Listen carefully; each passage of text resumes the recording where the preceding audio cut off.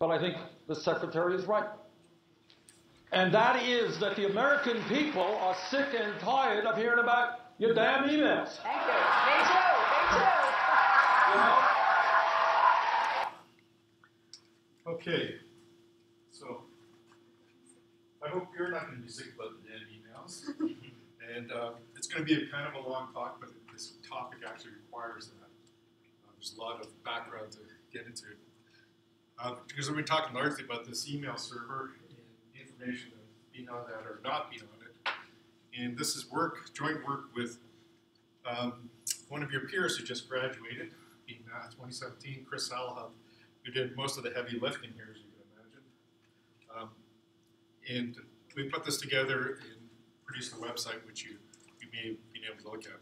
And we're going to look at the uh, Hillary Clinton's email and think about what information is embedded in. Okay? so, why?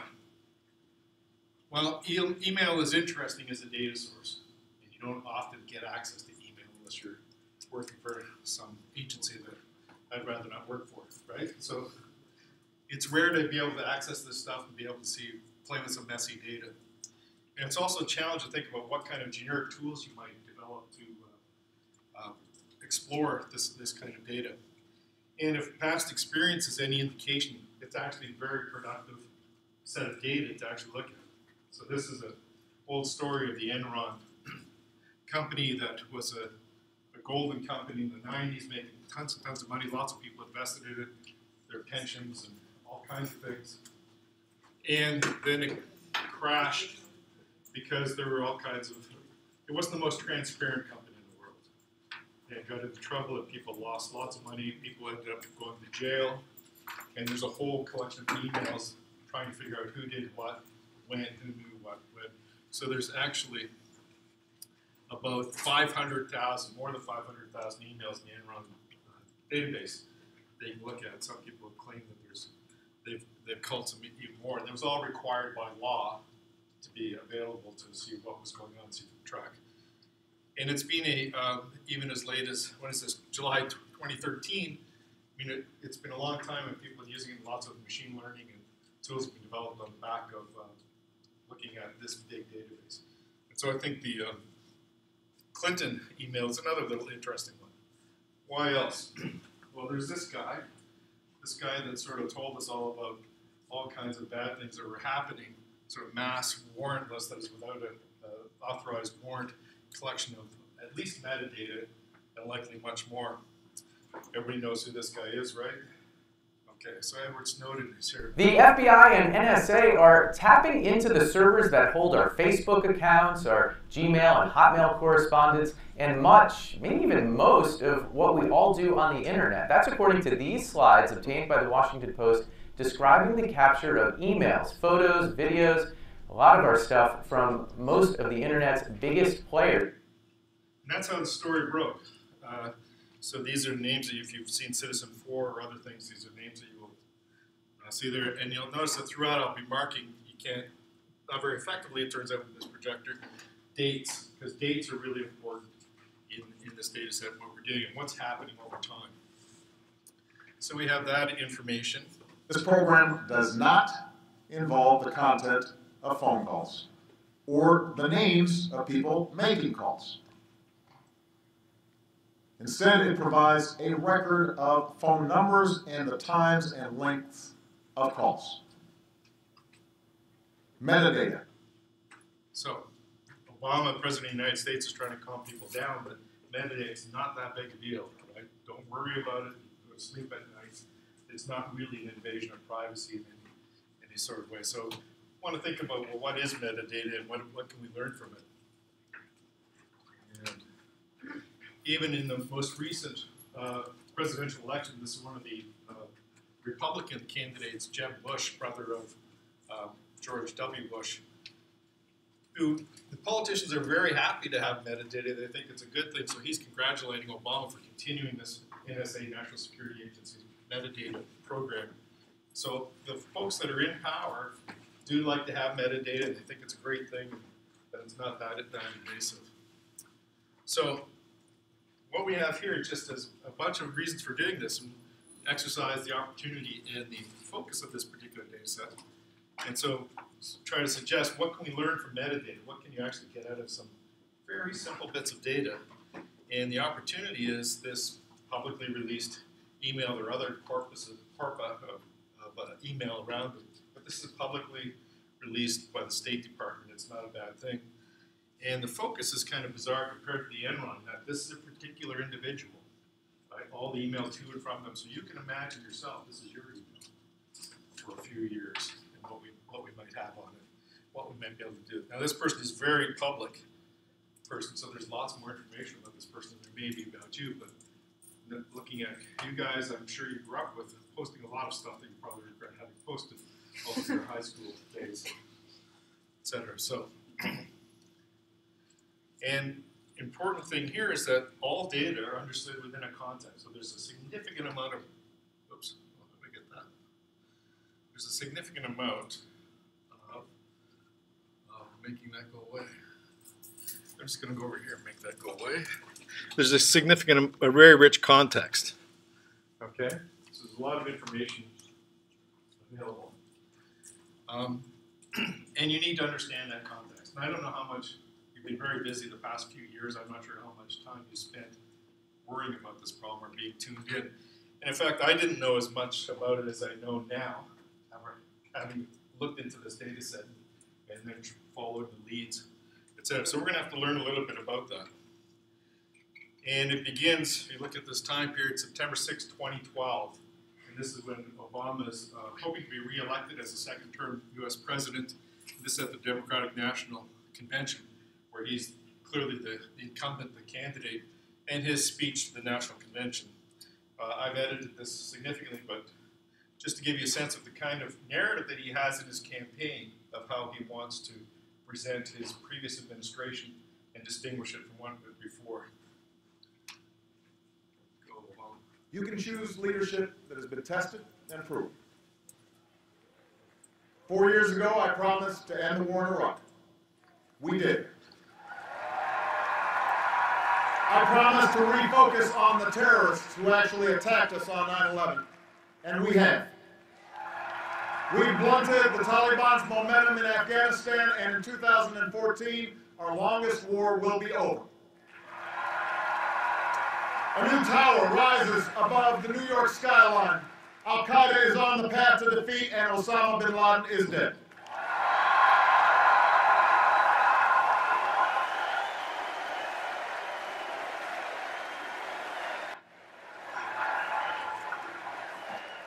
But tonight, we pay tribute to the Americans who still serve in harm's way. From Burma to Libya to South Sudan, we have advanced the rights and dignity of all human beings men and women, Christians and Muslims and Jews. But for all the progress that we've made, challenges remain. Terrorist plots must be disrupted. Europe's crisis must be contained. Our commitment to Israel's security must not waver, and neither must our pursuit of peace. The historic change sweeping across the Arab world must be defined not by the iron fist of a dictator or the hate of extremists, but by the hopes and aspirations of ordinary people who are reaching for the same rights that we celebrate here today. So, now we have a choice. My opponent and his running mate are new to foreign policy. Okay, so you, you see the narrative that past with George W. Bush, there was this horrible 9 11 event, a couple of wars were started, all kinds of bad things happened, and now this guy's got the terrorists on the run. There's the Arab Spring, everybody wants democracy across North Africa and the Middle East, lots of things happen. Killed bin Laden, you know. Everything's going my way, way better than anything else, and that's the narrative. We've got the terrorists on the, on the run, and that's important to have this narrative when you're trying to run for election. You look like the hero, So whether this is deserved or not, this, this is part of the narrative. And look at this date, September sixth, 2012. So think about that time. 2012 is the year of the election, and September 6th, which is getting close to a close to a significant um, anniversary, and that is September 11th, 2012. And what I'm going to show you is the breaking news of that day on CNN live, and there are going to be two events described. And I want you to look in, at the one and the characteristics of the one and the characteristics of the second one, because they're both described here as breaking news. But these protesters, they were predominantly Islamist people who were angry about a film that came out which depicts, which they say depicts Muhammad in a bad light, which they say insults the Prophet, basically things that Muslims would find offensive.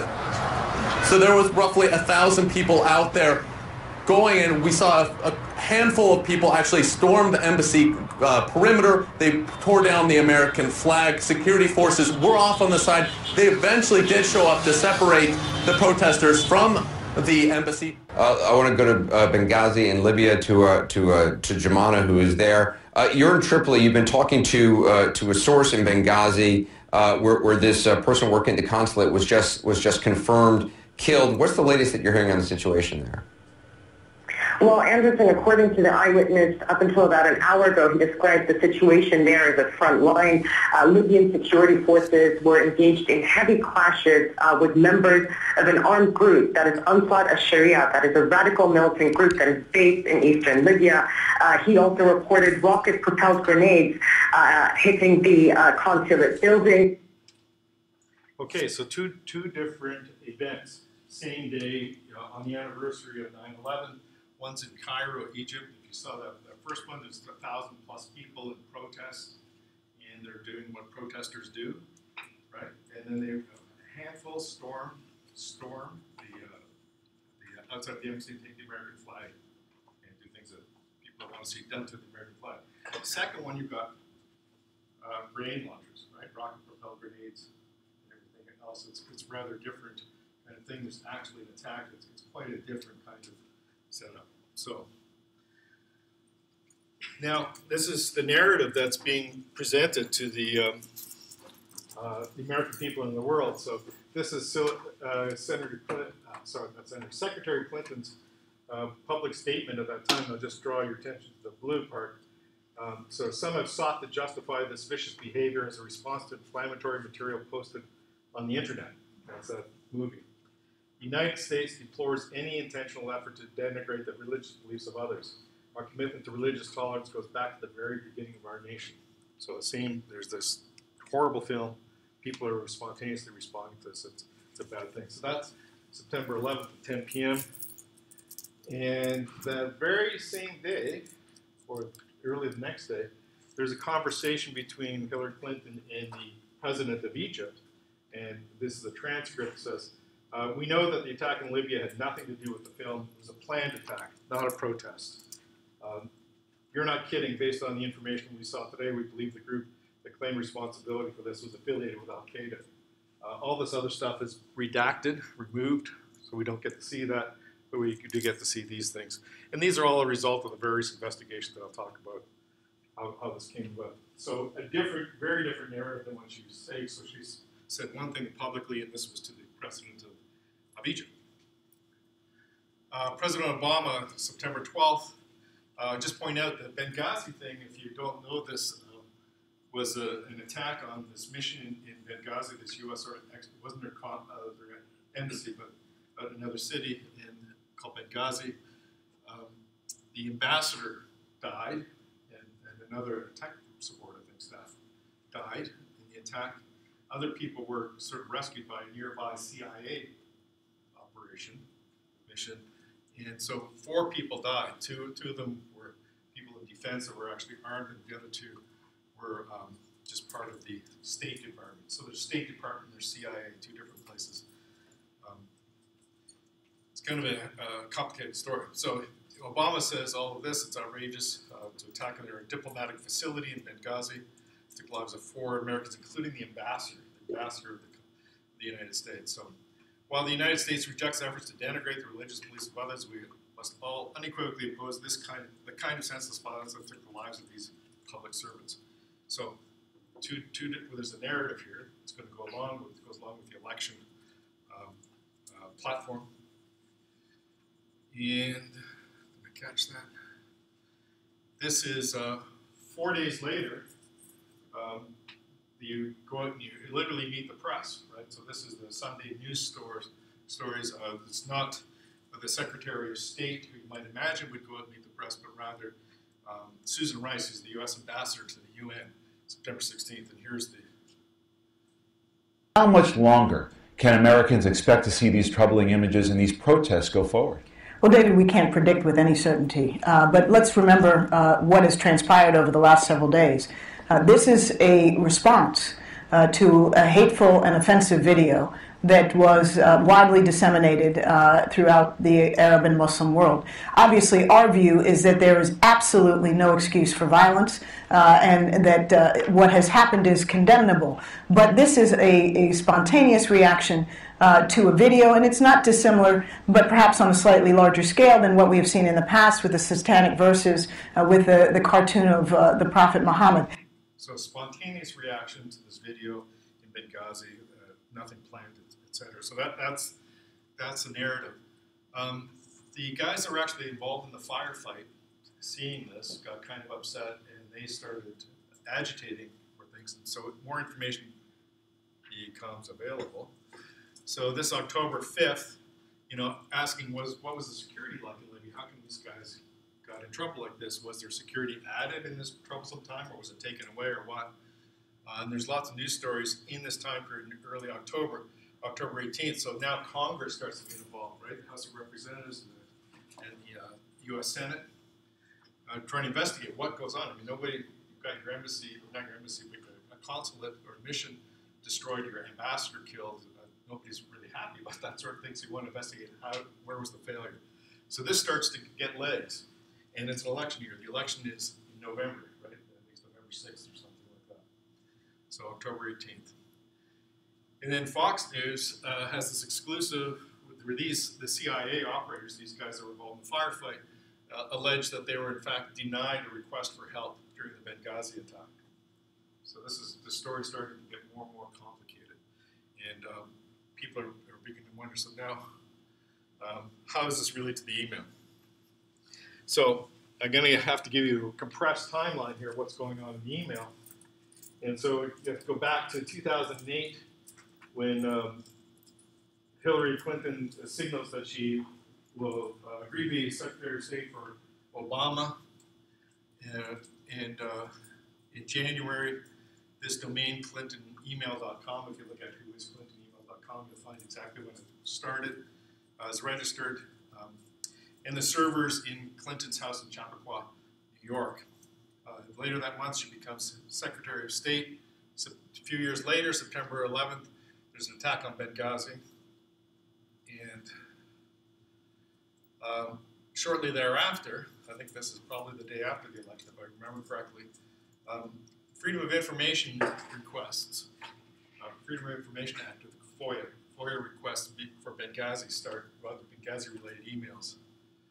Um, in January of the next year, she testifies to the U.S. Senate Foreign Relations Committee and House Foreign Affairs Committee about Benghazi. Uh, in February 1, 2014, she leaves the State Department. And roughly speaking, that's our timeline of where the emails live. Okay? So, in 2014, the House Benghazi Committee has formally announced a new committee to investigate the Benghazi thing. And it starts subpoenaing uh, documents, so it's a force of law, you have to produce the documents. And March is when the use of this uh, private email server becomes public. So that's when it's finally public. And it also explains why the State Department was having trouble uh, fulfilling these FOIA requests. So, March 10th, right, once it becomes public, uh, Uh, Clinton tells the reporters that she has turned over 30,000 plus emails to the State Department and deleted 31,000. So we turned over, turned over about half of the emails that she has on the server and deleted the rest. And she tasked three lawyers. These names will become significant. Cheryl Mills, which was Clinton's former chief of staff, David Kendall, her personal lawyer, and Heather Samuelson, a State Department staffer, to make the determination of which emails were work-related and which were not. The House committee requests that they be turned over to a neutral third party to make that determination. On the 27th, her lawyer informs them that no emails remain on the private server. They're gone. Turn over what you've got. And finally, the sysadmin, Paul Combetta, erases all backups using uh, BleachBit. So it's really writing over the stuff. There's no way of recovering it. It's gone. So whatever she didn't turn over is gone. And in April, uh, she uh, announces her candidacy for the presidency. I don't think that's going to, you don't want to lie down at the bottom here, Glenn, and hold that down. Not particularly. So these guys, Combetta, the sysadmin, Mills, her, her uh, chief of staff, and Samuelson are also uh, later granted partial immunity by the Justice Department during FBI investigations. That's the timeline. Okay? So what does it look like? I shouldn't walk in front of that, should I? Um, so if you go to the U.S. State Department looking for Clinton's emails, you'll find this. This is the kind of page you arrive at, and there's the URL if you want to go check it out yourself. Um, so you get a list of these things, and it's it's searchable, so you can search for terms and find things, and you can see, you know, the, obvious tabular structure here of, of the, the subject and the, uh, the dates and who it's to and from, etc. Um, what they've done is they've taken all the emails that were printed, uh, redacted, like has whenever it's classified and taken away, um, then I guess scanned again, they're all in PDFs. So you'll find PDFs here. What's more helpful for us is WikiLeaks. So WikiLeaks has a copy of all the PDFs as well. Uh, there are, I think, uh, there are over 32,000 of these there. And if you go to the WikiLeaks site, you can also search uh, for any term in the email. You get a search thing like this. So I'm looking at, I think I've boxed that, yeah. So I'm looking at the dates around that attack uh, at Benghazi, and that search will produce a result like that. So you see, you get a bunch of information. Now you're we're trying to think, well, how are we going to get this data? How are we to and have a peek at what's under the covers here? And so you want to look at what's here. You know where you are, so that's important, right? And you've got these other things. So one thing you've got is the doc ID, and every email has its own ID. And it turns out is that that plus the number will get you that email. Okay, so that's a bit of information for extraction. This is clearly metadata, that's the date of the thing. Uh, from and to metadata, that's sort of like who, who the phone number is calling to and from. And uh, you also notice that they're either to or from Clinton. So Clinton's always in one of these things, so Clinton's always one party to these emails. And you've got guys like Cheryl Mills, we know Chief of Staff, other people, Robert Russo, Diane Reynolds, uh, Jake Sullivan, and Sidney Blumenthal. Um, all, in, all interesting names, particularly uh, Mills, Reynolds, Sullivan, and Blumenthal. And so you think, well, who are these folks? So you've got names. So you've got names, you can find out who they are. You can Google this stuff. You can do just what I, what I did. So here's some names that pop up. There's Philip uh, Reines, Huma Abedin, Jake Sullivan, Cheryl Mills. And that's her sort of close staff that she works with fair bit. Um, other members of her staff are Monica Hanley, uh, Lauren Jiloty, Claire Coleman, Robert Russo, we saw his name earlier, Neera Tanden, come on, uh, Lona Valmoro. So those people are all members of the uh, Secretary of State staff, part of government. And this interesting character I've written in red, Sidney Blumenthal. And what's interesting is that these folks are all uh, members of the U.S. federal government, uh, support staff of Hillary Clinton principally. This guy is not. This guy works for the Clinton Foundation, tried to get a job. They wanted uh, Hillary Clinton wanted to have a job in the, in the State Department, but he uh, was refused. So he's not he's not only he's not in the State Department, but had applied and had denied, denied a position in the State Department. So he's uh, interesting. You see these colors. Everybody in here, white is definitely in the government, and he's uh, definitely not. Uh, more Dennis Ross. Just to fill out the page, Thomas Donilon. You'll see these folks. Melanie Verveer. Oscar Flores. Now he's in yellow. He's um, he's not quite as interesting as this guy, but he's definitely not in the government. He does work for the Clintons, though, and he does end up like printing email and stuff like that off the server. And he's a former naval officer. Um, Strobe Talbott and Madeleine Albright. She was the Secretary of State under uh, President Clinton, and she has the moniker Pathfinder. That's how her, her email will appear as Pathfinder often. So it's kind of uh, interesting. Uh, and not surprising that- the current Secretary of State would consult with the former Secretary of State of the same party to um, for uh, all kinds of advice. Here's Diane Reynolds, which turns out to be Chelsea Clinton. Right, so Chelsea Clinton, their daughter, is not using her name; it's just Diane Reynolds. So that's the name we saw before. And here's another one, ACLB, which is Tony Blair, the former Prime Minister of Great Britain and another member of the Labour Party, David Miliband. You can't see his name at the bottom. A member of the uh, UK Labour Party. So these yellow guys are not part of the government. Okay, so every one of those now will take you somewhere if you start looking down these chains. So just from that little bit of metadata, you start drawing conclusions because this is not all anonymous, right? It's out there. All of your past experience is out there. Come on, machine. So, what are some problems? Well, the, the WikiLeaks data does have some problems in it that are kind of annoying. So they're missing values. See, this one has no subject or to and from that particular message. And when you look at the uh, message itself, you see that it's, it's got a blank to, to and from there. What is that?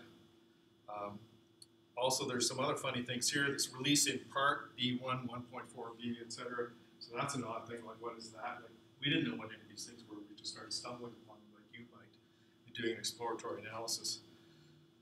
And so, you, but you can look at the original PDF. So you have a look back and say, well, what are these things? And if you look back in the original PDF, there's no missing header. So WikiLeaks is messing something up going from their PDFs to their to their HTMLs. They've lost that particular piece. And these things are clearly added on top of the um, email itself. This one, disheartening news on the Pakistan front, and then all this stuff here. That doesn't look like it's part of an email header, right? That's pasted on. And here's the content, right? There's nothing in it, Mo- mostly redacted. So it's sort of white, um, blanked out.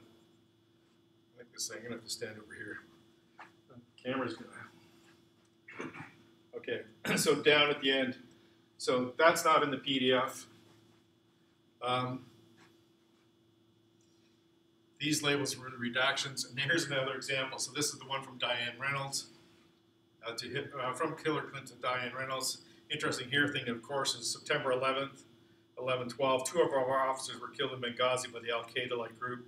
The ambassador, who I hand, whom I handpicked, and a young communications officer on temporary duty with a wife and two young children. Uh, very hard day, and I fear more of the same tomorrow. So, um, information going to family there about this stuff. So again, release in part B6, and there's an interior email chain. Okay, we're going to try to keep this as simple as possible. Not going to pay any attention to the email chain inside, because this is just a first cut. The other disturbing thing is these dates in this header do not match what's in this header. These days and times. And we've sampled about, you know, there's 30,000 things, so you can't look at them all. The few that we've sampled, we see that there's some sort of systematic departure uh, between what the dates are in the email and what WikiLeaks provides in that top header. And so there's um, anywhere, I think we saw, you know, from um, no difference to uh, seven hours to 31 hours, uh, but not not anything that's going to affect the immune analysis in any substantive way. Not that we've seen. And these are the redactions if you look at what the actual um, PDF looked like. And you see that this is all the correct date, 11 p.m. Okay. So, what does it look like? Well, you can get the page source. I mean, not all browsers make this easy for you, but many do. You can just actually say, let me see the page source. And that's useful, so you can see what, what's going on, what's in there. So this is the page source of that email uh, from Diane, uh, from Hillary Clinton to Diane Reynolds. and you see there's you know lots of header stuff here. There's a public key block. There's a lot deleted here. There's a massive public key. That goes on um, talking about the Tor browser. You know, so this is information for people that are submitting something to WikiLeaks. You know, use a Tor browser. Don't use you know um, any of the commercial browsers. You want to protect your identity. A lot of stuff about this. Uh, more things about you know preserving your anonymity.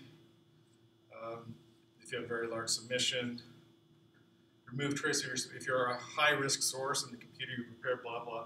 So we're really protecting their sources, trying to make sure that you don't reveal who you are. Um, and it goes on for some time, right? But none of this is interesting to us. I mean, it's an interesting aside, but it's not the content. So there's a lot of HTML here that's kind of in the way. So you have to find out, well, where is this? And finally, the content is way down here with conveniently a div class content. Uh, but also this this top header here, which has the um, title, you know, Hillary Clinton from Hillary Clinton to Diane Re Re Reynolds, Diane, I guess. And down here, we you see the release in part, and you've got the email content. This blue is what I've highlighted as the actual email content. Okay. And that's what I said it's exactly that thing. That's the ID number. So you can go look at the stuff if anybody has a laptop.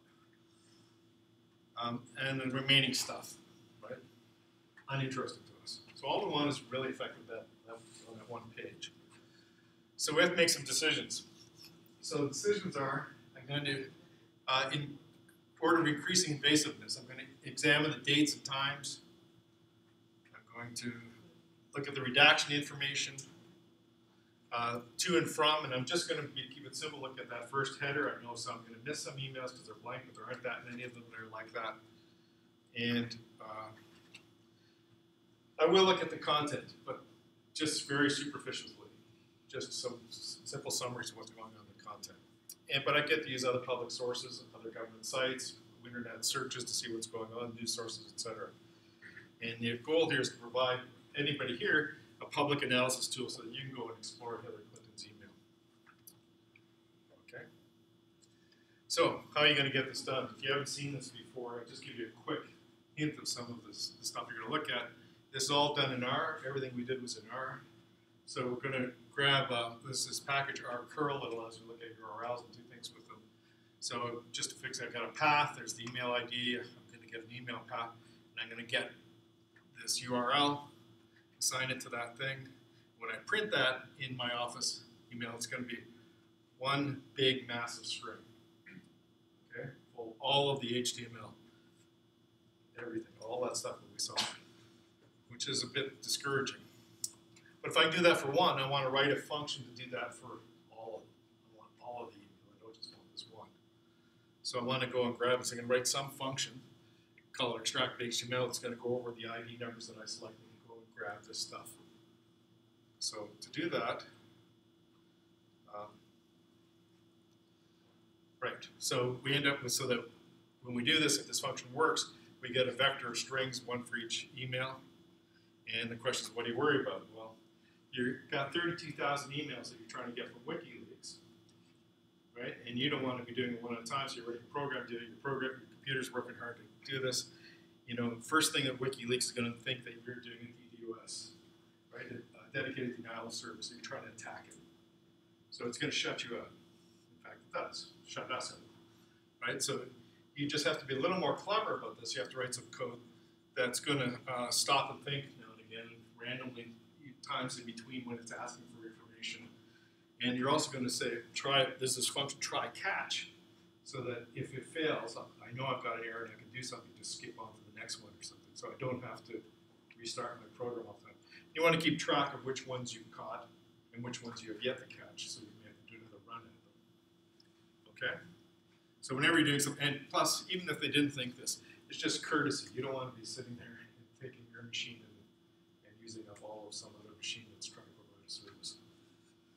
Okay? So, building blocks in R to parse an email. Uh, we use stringr for the manipulating strings that package chron for manipulating uh, dates. There are other packages for like Lubridate for manipulating dates. And uh, basic pattern matching. So if you haven't had it before, you want to be able to match patterns in strings. So this is a, a grep. Uh, any, has everybody used Unix? No? Has anybody not used Unix? So a few, okay, so it's not, not surprising. So uh, these are standard things that, uh, from time immemorial, but you want to be able to do regular expressions. And regular expressions are their own strange language that I can never remember because I don't use them that often. And each time I have to go oh God, how do I do this, etc. But you want to be able to look for patterns in the email. So for example, I'm checking whether it's redacted or not, I'm looking for a pattern that has release here, uh, zero or more spaces, then in, then zero or more spaces, and then part. If I can find that in place, and it's the first time I hit in with zero or more spaces between it, etc. Um, I extract it and get a, logical. That's logical, so I get a true. If I don't, I get a false.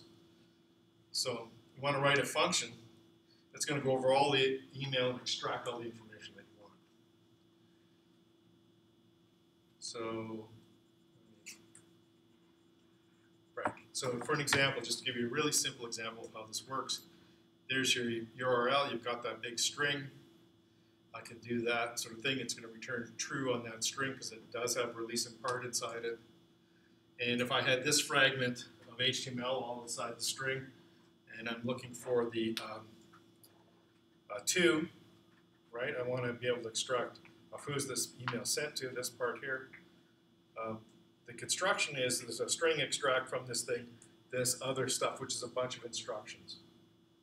Okay, it's a very uh, terse but this sort of this thing here means preceded by anything that goes before that like this precedes the thing I'm looking at. This blue part precedes is the pattern that I'm looking for. And then in between I want to match one or more characters. And then I want to end uh, with that, come on, that particular pattern. So that means that when you see that up here, I'm looking for marching along till I get this pattern here up to original, and it ends with that. I, I want to grab everything in between. And so I get back that. So you have to use regular expressions if you're dealing with any kinds of search through this kind of messy data. So there's no getting around.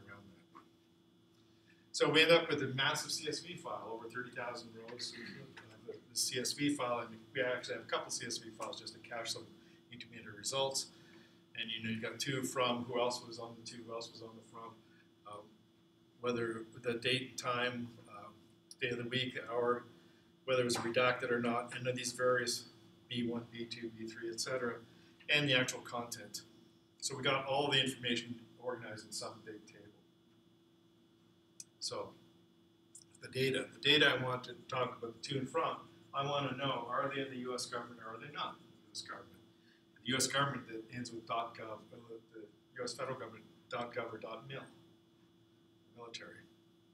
Or if they're not, or can I tell? Because lots of times it's truncated, I don't have the information. So these redactions, they look at these are Freedom of Information Act codes. So when I'm looking at these, when I see B1, I know what was redacted was actually national security and foreign policy matter. Okay, or somebody's determined that that's what it was It was B5 was some communication between agencies, the federal agencies. It was B6 is personal privacy, and there are all, all kinds of strange things. Uh, curiously, something related to oil and gas wells. Okay, so you're looking for those kinds of things. So just knowing that, I can look this up and see what does this mean. So that's kind of informative in itself, a little more metadata. So uh, for the data, I want to be able to simplify it. And so what I want to be able to do is remove some words that are just uninteresting, uh, et cetera, so-called stop words. And uh, use the text, uh, what's it, text manipulation, text management, I'm not sure what the, text mining, probably text mining package. Um, and they will have larger list than this, but these are stop words. So these are words I really don't care about. They're not that interesting. So I want to remove them from any kind of analysis. So remove the stop words. I also want to find the stems of words. Like there are lots of, I say, uh, I'll just give you an example. It's actually more complicated than this, what we do. But you can imagine that I've got this, this string that's full of these particular words. So I've got open, opening, opens, openings, opera, operatic, operas, operate, operating, operative, et cetera, et cetera. All of these words have different meanings, but some of them have common meanings, like open, op- open and opens, certainly are part of the same thing. Opening and openings are part of the same thing. So I want to just, what is, think of this as a tree, what is the stem? These are the leaves, the, the suffixes that are added to it. So I can use stem document on this thing. On this list, I'll get open, open, open, open. So those all turn into open. That's opera. That's operat. Right? That's opera. That's oper, oper, oper, oper. So you see, you lose a lot of information, but at least you kind of say, hopefully some of these things are much alike. Right? So you're losing information, you're conflating some ideas, but they're not too disparate, hopefully. So that's what's done. And then you want to think about, and that's not what we do, but it, that's an example of just turning those into little pieces that you can look at and count, etc. So I've got a whole bunch of opens and some o- opers, etc. And so I can count how many I have of each of these things. Okay? And I can get the unique ones. Uh, so there's uh, my set of words, and you just get the unique ones so that I have all the unique things there. Yeah. How accurate? Stemming is a whole um, whole research area in itself, and it's much richer than what I've just given you. And we had to think, uh, you know, hard about it. Same with stop words. What do you put in there? What do you get? So it's uh, it's clearly going to lose information, um, but you will simplify things. I think that so there, you know, people doing research on appropriate stemming and stuff. So I want to think about frequency. Uh, number of times any particular term appears in an email. How many times does it appear in an email? Uh, how many emails contain that term? Document frequency. And then this sort of weighted thing, and there are various ways of defining this too, but the simplest thinking about this is just uh, the TF IDF term frequency inverse document frequency. So the idea is that if the term appears a lot in an email, but hardly in any other emails, wow, that's kind of important to that email. That's a weird thing, right? So that, that's what you're trying to trying to capture, uh, and that's a that's fairly extensively used some variation of TF-IDF. So I can order the terms in every email by their term frequency, how frequent they appear, by their TF-IDF score. So I have scores on all of the terms in the emails. And I can look at now, I've got these things, I can look at all the emails and just say, what's what have I got? Uh, look at the redactions here. Just visualize, what am I going to look at? So I'm looking at all of the redactions. There's B1 through B9, and then there's some with none. So there's fewer than half of the emails that have no redactions. Right? And a lot of them have B6, these are these personal. And these are the kind of worrisome ones, the B1, the national security, the interagency communications. And um, there's, uh, I should point out that there's some concern about when you go for FOIA things that people are putting too many redactions in and just declaring things. So the fact that they're declared this or that is not necessarily an assessment of the magnitude of what they are, but it's, it's what somebody's decided. And they tend to err on the side of redacting more than, than you or I might. So I look at the times of the emails. So these are the times sent, okay, and this is the date going along here. And uh, I've got, it's if it's a redacted email, it's red. If it's unredacted, it's blue. And so, any patterns?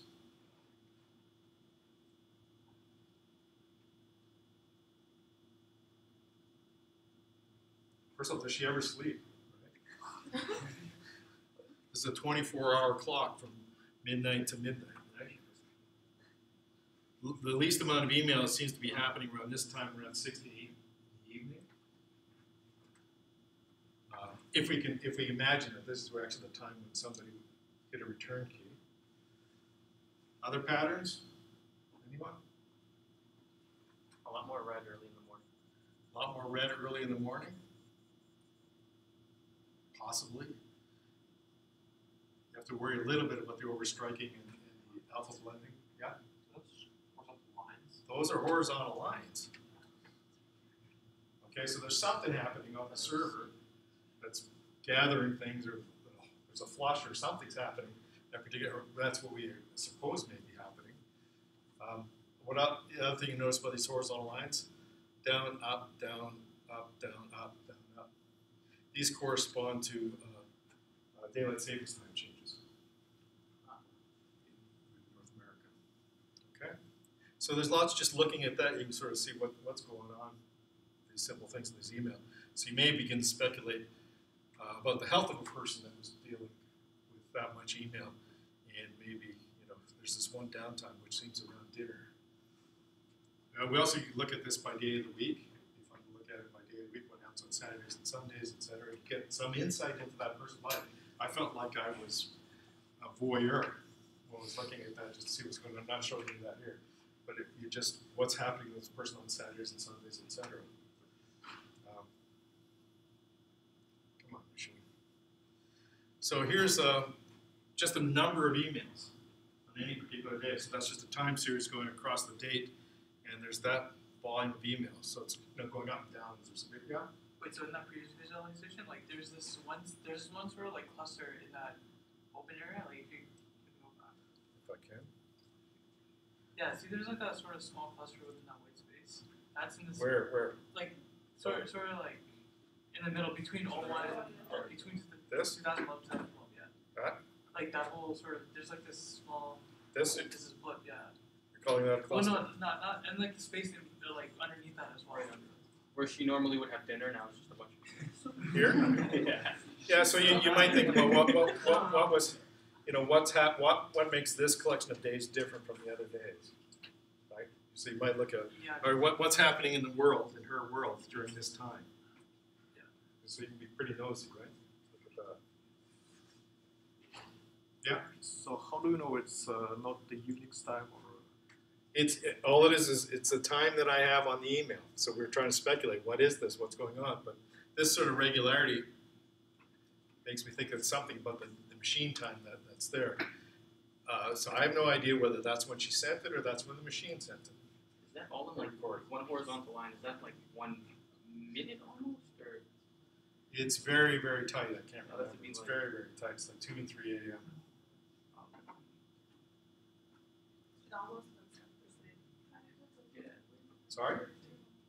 I said it almost looks like the same time every day. I think it is. I think it. Uh, yeah. The question is, how fine do I know that? Is that down to the millisecond that I've got, or is that one? And, and I don't remember. I think it's because this is compressing it. Of course, they, they couldn't spread out. Don't know. So back to this. So patterns here. If this thing ever works, getting fed up with this. Um, you might think about what are the high volume areas, right? Where what you know, that's the biggest point. You know, over 120 emails on that day. What was happening? So uh, what I have on the block here is all emails and selected emails with this magenta underneath. And these ones happen to be, these are the ones that she sent. This is all including the ones she sent, and the blue, the magenta ones are the ones she sent that day. So you could ask, what happened here?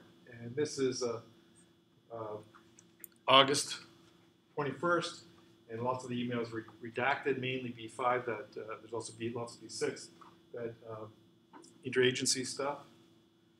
And turns out this is the battle of, when the Battle of Tripoli begins. Like you, so you can go look, see what's going on in the um, news. Two of Gaddafi's sons are captured, and one of her close chief, uh, close uh, staff members, Jake Sullivan, writes this email. It's called, it's famous now, called the Tick Tock Libya email, and it, this is crediting Clinton for leading U.S. policy on Libya from start to finish. She's fairly hawkish, right? She wants to overthrow government. I think she's fair, probably shouldn't say that on the. Um, she's fairly hawkish. hawkish, very hawk. Um, so you can see that sh- there's this famous email where he's setting out what she's done. She's really driven this whole Libya thing. This is her baby quote from start to finish. So that thing I can look at, since um, Clinton is always in every email, I can see, put her in the center, of this egocentric graph, right? So that's Hillary Clinton in the center. And these are the top set of correspondence in the whole range of the data. And I've colored them blue if I know that they're government. I've colored them red if I know they're not. And I've colored them yellow if we couldn't tell. Now I know for a fact that this is a government, senior government employee. Wendy Sherman, you can just Google this and see who this person was and when she was hired, etc. And the closer you are to the center, the greater the volume of email between you and Clinton, and also the wider the wider the spoke is. Okay, the greater the volume. So you kind of see her inner circle. These are the guys. Cheryl, and this is over the whole time here. Cheryl Mills, Huma Abedin, Jake Sullivan, and you also see this Sidney Blumenthal guy. Uh, comes in for a lot of criticism for being such an, uh, an intimate email thing. And then Huma Abedin here, one of her chief staff, uh, not chief staff, one of her staff members, also appears over here because she's using Clinton email account. So she's appearing twice. Sometimes this is she's using a .gov account, and here she's using Clinton email account. So you start to get a sense of well, who's talking to who, who's close. The more frequently you and I correspond, the closer we are to each other. So you get some sense of now we're learning more and more about this person. So the other things, going to look at the top 20 term frequencies for the whole thing. And these are STEM, so they're kind of incomprehensible in some places. And the top uh, TF-IDF terms. So you'll see things like uh, us or US. That's some sort of security thing, people, nation, Obama. That's, I think, PR. When I looked it up, that's mostly PR, public relations. That we're talking about PR appears down here as well. And uh, some about Jake, Cheryl. That's probably Cheryl Mills appearing, etc. So that's over the whole thing. So we're going to look at those things. We're going to build a Shiny app. Okay, so we're building a Shiny app. This is from the web server. And the Shiny app has three pieces. It has a user interface, a server, and something that puts together the Shiny app. And it looks kind of like this, although it's much more complicated. So you build a, a user interface, and there's this function, a fluid page. So these are all things built into the R Shiny package. I didn't mention that R Shiny package and you get a fluid page, a title panel, you know, arguments, um, fluid row. So the first column here is Christopher's name, then my name, and then uh, another fluid row. And there's tons and tons, and tons more here. The server has got to take input and output. It's a function that takes a in input and output. So this is data effectively, input and output. It does something um, uh, with the in, in input, uh, way of processing it, and it's reactive. So the input somehow it's going to be something's going to react to the input, and then the output I'm going to write. I'm going to render some plot. These are all functions that are built in. You could build a shiny app yourself. It in RStudio. Okay. And then the shiny app just says shiny app. My user interface that. My server is that. And I'm away to the races. And if you've got a uh, internet connection, you can look at that right now. Okay, if you want. If you do, it's going to look like that. Okay, so there's the web interface that we have, and it's got the source WikiLeaks. This is a paper describing that everything that I'm kind of telling you about today, with lots of references and things that you may find interest if you're a political junkie at all. Uh, some sort of stories here, what you might look at. But the pieces that are here is this piece here, this panel where you're seeing some TF-IDF forms, this part up here where it's got some check boxes, some pull-down menus, some lists of things, and this scrollable display here. So all the displays I've shown here are going to appear here. You scroll through. And then you've got this funny thing, this timeline at the top, of the date range. Okay? So these things are all filters. This is what it's going to react to. So um, this is a reference point about that blue and uh, red diagram, or whether you want to start at midnight or whatever. Um, whether you want to display the foreign travel, because we went and grabbed the foreign travel schedule from the State Department and just matched it up there. What do you want to just look at emails that contain particular FOIA codes or not? And do you want to know who, from Clinton to Clinton or all emails? So you can do that sort of thing. This date range is something you play with.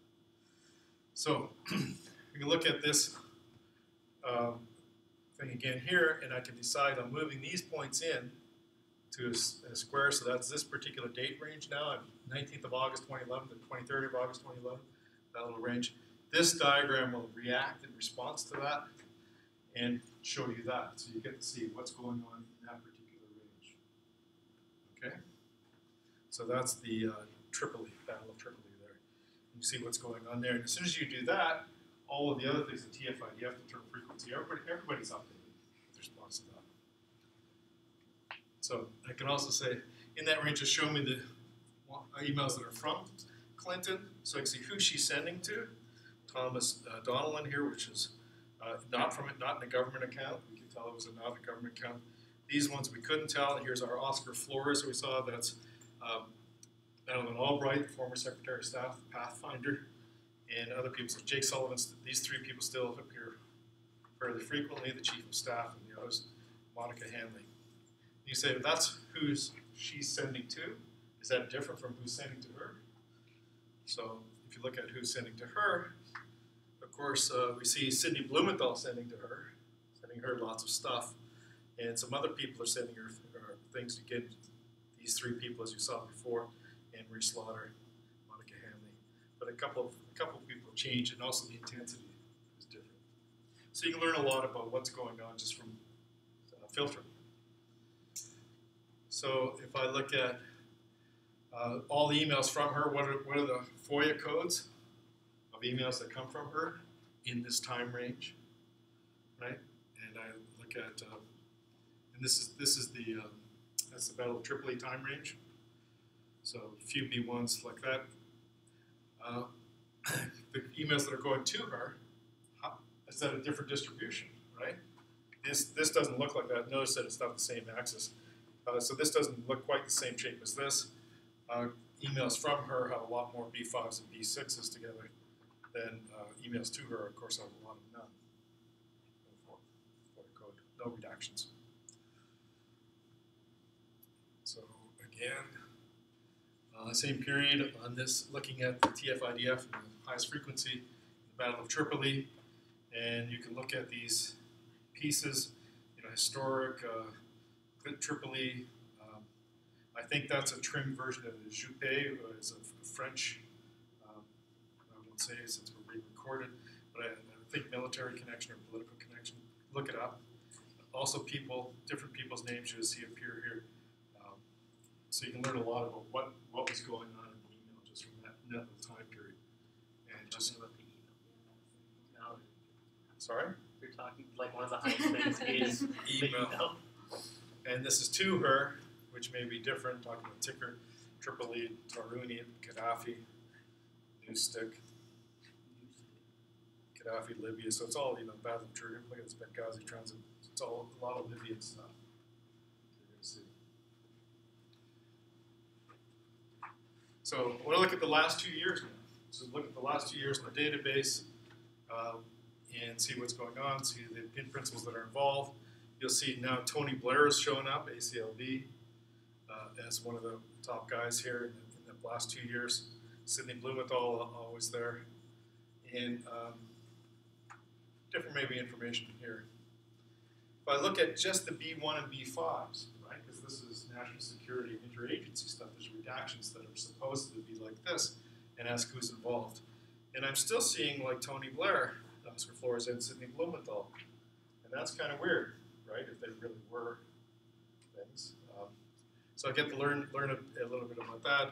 And what we discovered, we didn't know who ACLB was, but we noticed this Windrush kept popping up.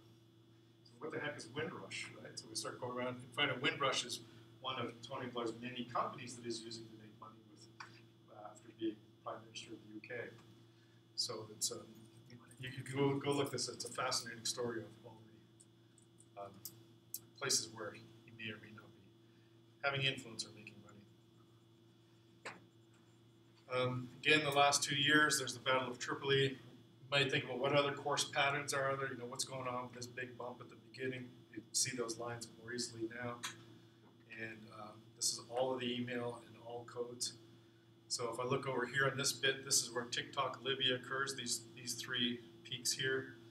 Uh, this is the beginning of the thing uh, to the getting rid of Gaddafi and um, overthrowing the government in Libya. So the Libyan embassy in Washington was suspended on March 25th. Uh, Russian abstention and other support obtained for the UN no-fly in Libya, on March 19th, NATO operations begin in Libya. Those are the peaks. So you can see what's going on in the news at that time. Uh, this is B1 only in this very small time period in that part where it's leading up to the, uh, the part we were just looking at here, the Tick Tock Libya re, uh, region. And so you see uh, England, virus, Parliament Mahmoud, Gaddafi, uh, Windrush again, but that's because that's because this guy's still playing. And these are B1s. This is national security. And uh, what was the other part? But it's, it's, it's, it's the most important thing. You got Sidney Blumenthal involved here as well. Yeah, it's Tony Blair, Sidney Blumenthal, Huma Abedin coming in on the Clinton email, uh, uh, not appearing on the government. Oh no, there she on the government side. So you might think, well, see any other patterns here?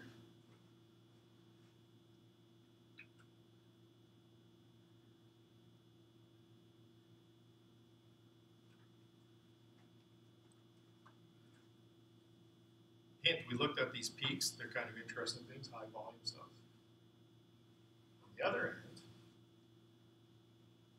there's a trough. And there's just a nice blank spot right down the middle here. There's an email gap. There's another one over here. There's like no email there. Right? What's going on? Pardon me? She just slept for three days to catch up on sleep. Perhaps. so, um, come on. All right, crossing in front of your camera.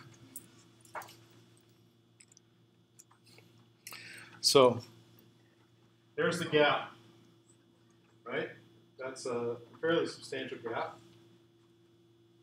And if I look at that's from October 26th to November 9th, 2012. 2012, no email appears in the archive as being sent from Secretary Clinton during that time. Zero. You may recognize some of those dates. October 26th, this is when that Fox News story broke about the CIA operatives in Benghazi. Defendant against terrorists. In fact, they came forward with a story of what happened on the ground and they maintained that it was an organized attack and tell reporters that they were told to stand down. So that news story breaks on the 26th. So looking at this gap, you're saying, well, what's going on either side? What is there? You know, what's happening? Well, that's one thing that's happening on one side of it. And November 6th, in the middle here, is when Obama is elected to the second term as president. So it's the time of the election as well. So right after all this Benghazi thing's breaking and, and it's getting really hot, uh, and just before the election, there's no email from Clinton, which is interesting, and very little email to her. Okay, so during the same period, we might say, well, maybe we get some sense if we just looked at this period by itself, all these zeros, right? The little line is Clinton, this is all email, the black line on top. Say, okay, who's involved here? And if you look around, these are often people, Pathfinder, uh, James P. Rubin, uh, Robert Kagan, people that are naturally advisors on, on foreign stuff to the Secretary of State that you may be talking to. And if you look at the TF-IDF terms, you'll see some interesting stuff like Ansar Sharia, right? Ansar al-Sharia, the group that attacked Benghazi, uh, Mangoush, uh, Misrata, militia, heavy capture, Haftar. You just start Googling this stuff, you just learn it's all about Libya, what's going on here. Um, fight Sharia, leader Sudan. These are people and places. So that's kind of interesting. I guess I'm just drawing your attention to that now. Yeah, it's all this is all Benghazi why I made you suffer through all those videos at the beginning, so you've got this context. So you can move this window. I've moved this window all the way along, about a 30, 30 day window, and the thing will update all the time. You can sort of pull the middle and watch it go through. And so I'm saying, really, is, maybe there are other spots where there's no email if I take a fine enough look. So I go look at search for patches where there's no email from Clinton. And I check against other sources like I get to check against you know, nearby email, your travel schedule, etc. But I'm also going to check the dates against the news items via Google search. I'm going to try to confine myself the following way. I'm going to follow this protocol. So identify all the patches of days that contain no email from Clinton. Identify the month and year of each patch. And then for each patch, I do this search. Month, year in quotes, news, State Department in quotes. And I see what I get on the first page. Okay? So report relevant stories from the first page of results. For example, if I Google June 2009, do State Department, I get this, my browser. So this is a, a time when there's no email from her. And I say, well, what, what appears there in the story? And well, she felt she fractured her elbow. She's not going to be doing email, right? So that kind of makes sense. So that's a time when there's zero email. So there are 10 more patches. There are 10 patches, including that one, of little or no email from, from Clinton. Defining what a patch is is a bit ambiguous, as you'll see. You know, it's a few, days in a row or days near each other. And then do that check against news item via that Google search. That's all email, all methods. So the first big patch is the early days, January to April 2009. And this is what you find there is she's using her personal BlackBerry for all the email Um, the national security folks explained to her the risk, explained the risks to Cheryl Mills, her uh, chief of staff, and the officials seem to be unaware of her private server, just that she's using her BlackBerry. Um, so that's what's happened there. June 17th to 23rd, she had surgery for an elbow fracture after she fell. That makes sense. July 17th, 23rd, while she's visiting India and Thailand. So you're not expecting your, you know, you're overseas on some mission, you're worried about what's going on nearby, you're worried about eavesdroppers, etc. So maybe you're not, uh, email, that kind of makes sense. October 11th to 13th, while she's visiting Russia. Well, if it made sense in India and Thailand, sure it's not going to make sense in Russia, right? That she's not going to be doing very much. April 11th to 15th, well, there's a forwarded email that describes the ambassador's concerns about the situation in Ajdabiya, which is about 150 kilometers from Benghazi, and then he's considering leaving Benghazi. It's too dangerous. And April 14th to 15th, in this time period again, so this is just before, forwarded email to her, just before at the AL, she's meeting with the NATO foreign ministers in Germany, and not so surprising, but those are the items that show up. Uh, August 27th to 29th and September 1st, here's what I observe here. There's no foreign travel. What I saw was Russian hackers, which are become famous again, are trying phishing uh, Clinton's email accounts. Um, and Cheryl Mills, her chief of staff, adds a significant Clinton Foundation donor. This guy gave a lot of money to the Clinton Foundation to this International Security Advisory Board. I invite you to go look into that and see what, what you think of that. But that, that's a bit unusual. It makes the news. And um, Executive Secretary of the State Department suggests replacing Clinton's personal BlackBerry by a department-issued one, and Huma Abedin says, "Yeah, no, forget it. She likes, she likes her BlackBerry or whatever. She, she, he's rebuffed." So that's what I find. Those are observations. March 27th, 29th, 31st to April 3rd, and April 10th, sort of lump these together. Observation, Clinton staffers seem to be vetting email, is what it, it, uh, it mentions. And Clinton received an email which in part obtained classified material, that contained classified material. That's what I find in the news. August 27th, 30th, September 1st, 2nd, well, this is just before the Benghazi thing, right? so the, there's an August 8th cable to Secretary of State uh, called The Guns of August, Security in Eastern Libya from the ambassador, who says, what we have seen are not random crimes of opportunity, but rather targeted and discriminated attacks. That's from the ambassador. And State Department security agents in Tripoli reduced from 34 to 6 during August. That's in Tripoli, the main, that's where the embassy, that's not Benghazi. Um, this last bit, I, I lump these together. December 6th to 17th, 19th of 2012, 22nd, 23rd, 25, January 1, January 6th. I mean, you look like it's maybe it's Christmas or something like that, but it's not in other years, right? So look, look at this, and that's why I lumped them together. There, the purple or magenta is hers, and there's not much coming in, but it's, you know, a few spikes, etc. This is sort foreign travel just overlaid in that time period. And the frequencies, what's happening here, and you'll look that these are kind of familiar terms, Mangoush, uh, Zeidan, Benghazi, oil, um, Libyan, etc. So I lump those together, and here's what I find. She has a concussion from a fall, and she's recovering at home by December 15th. Um, four State Department employees associated with Benghazi resigned on December 19th. And one of these alleges that in October 2012, he witnessed a Sunday afternoon, quote, document sorting session in the basement of the October 2012, remember the dates, uh, in the basement of the State Department after Congress had called for documents related to Benghazi, and uh, Cheryl Mills and Jake Sullivan were present. So that's an allegation.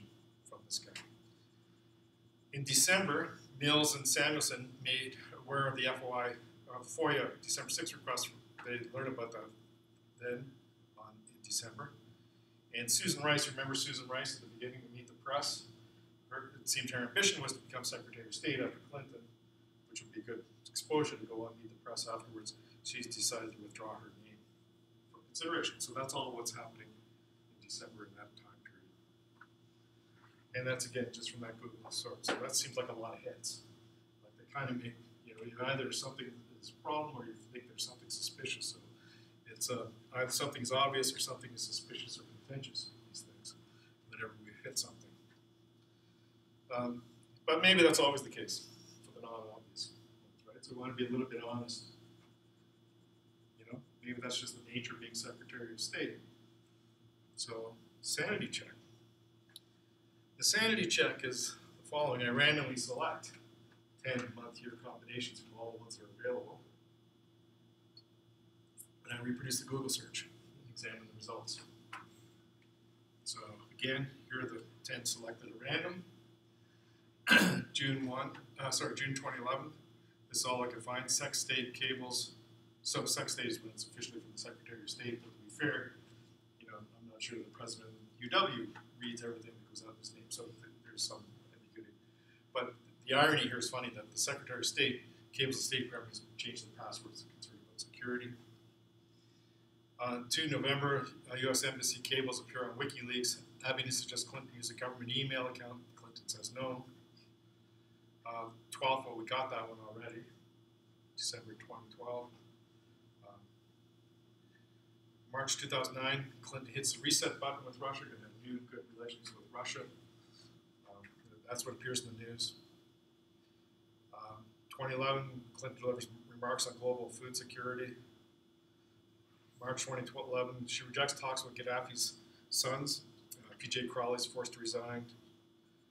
Um, May 2012, State Department investigated compute, computer shipments to Iran. Uh, Putin accuses Clinton of encouraging Russian pro protests. And June 2012, Geneva 1 conference on Syria. Also, Bill Clinton checked with the State Department on a paid speech to a group with Tehran ties. Uh, State Department trafficking in persons report. And uh, number 10, Iranian plot to kill Saudi ambassador the State Department cannot confirm Gaddafi's death. So those are the news items I found when I ran this.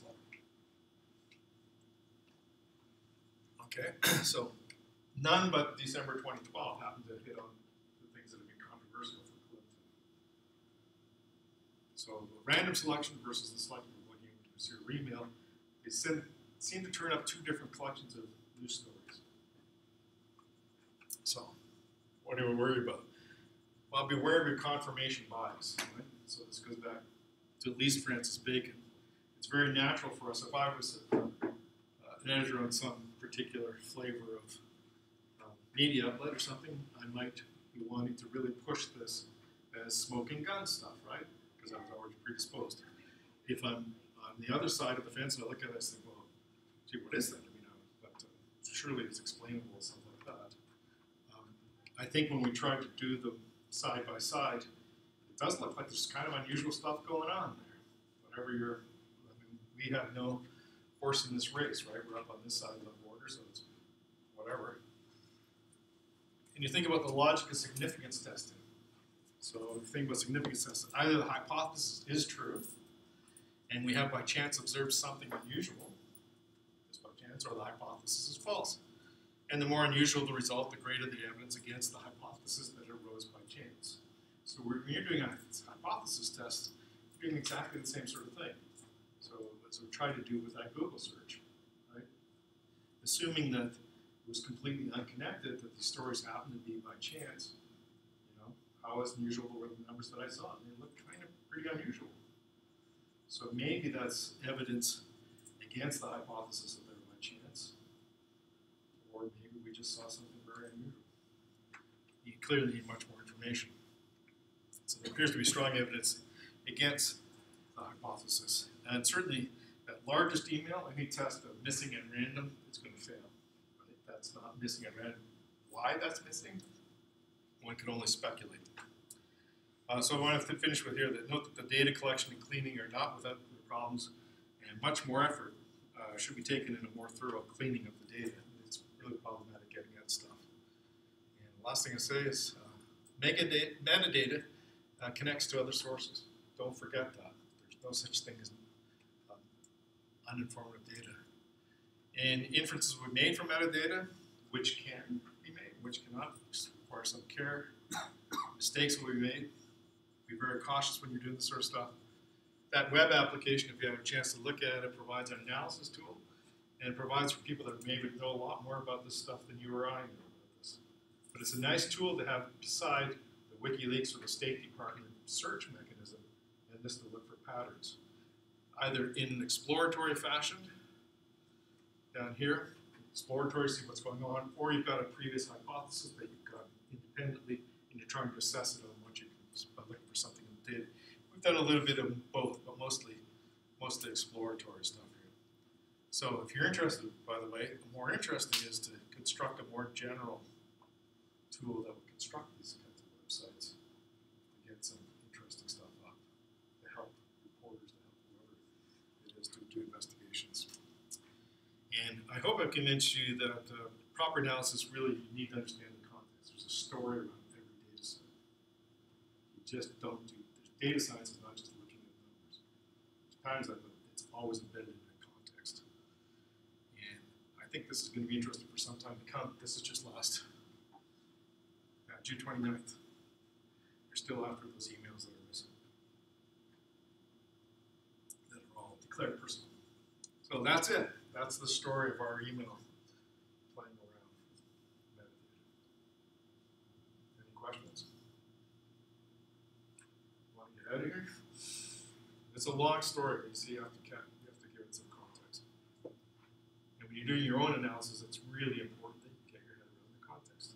And that, to me, that's a great thing about doing statistics or data science is actually uh, taking a collection of set tools and applying them to different interesting contexts.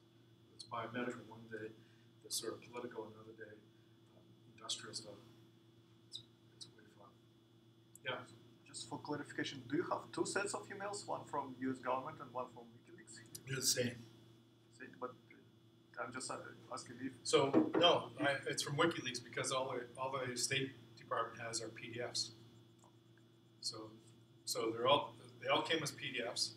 WikiLeaks has some presumably automatic way of reading the PDFs, turning it into HTML.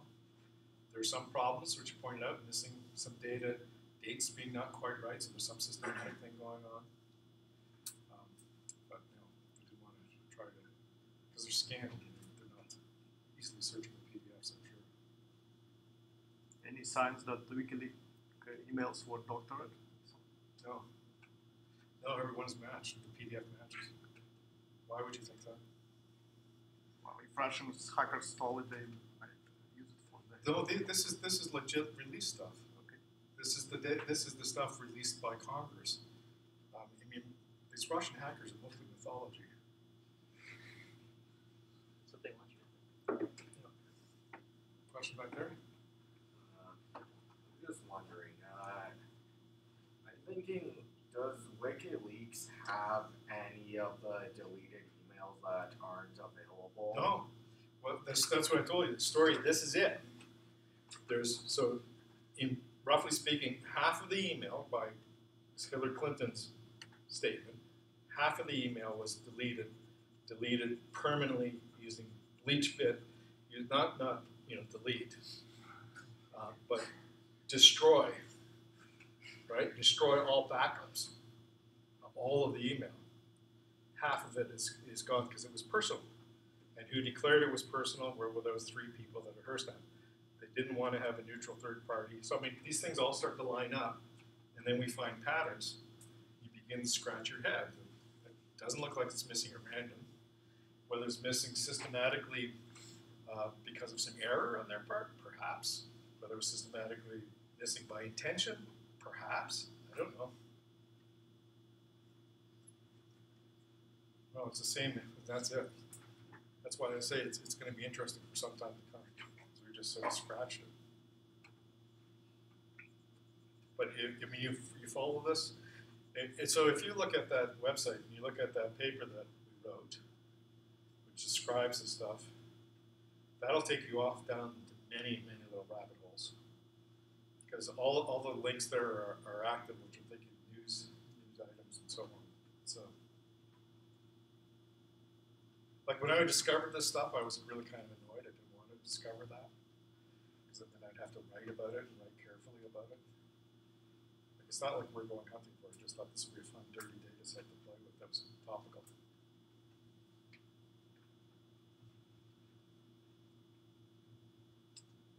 Now there are other there are other uh, sets of email that are on WikiLeaks that are not there by um, you know command of Congress, which I think would be interesting to look at.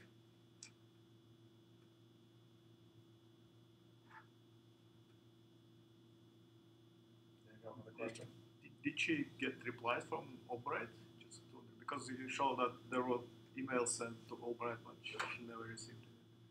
Sorry? No, no. When, when you're looking at that egocentric graph, you mean those books? No, that's not all of the emails. That's just the top thing. What we did is we ordered the frequency of emails and then looked for a gap. Like when, when, when a group separated to try and just identify your inner circle. There's email going back and forth between them. Oh, It's just it may not be in the top five or so.